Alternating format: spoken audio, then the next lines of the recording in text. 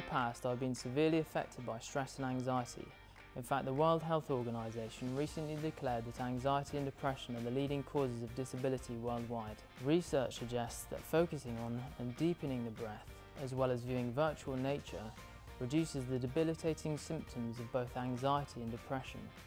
And that's why I've developed the Breathing Tree. The Breathing Tree is an immersive meditative experience that uses VR wearable technology and gamification to relax the user by putting them in touch with their breath and nature.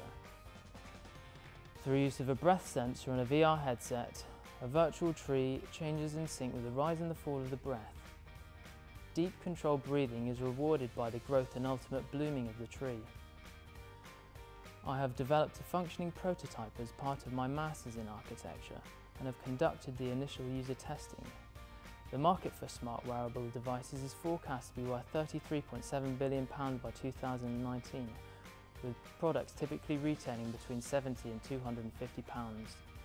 The breathing tree can be used by anyone, but will be targeted initially at young to middle-aged professionals suffering from stress, anxiety or depression. Connecting with nature through the breath can help make the world a happier place.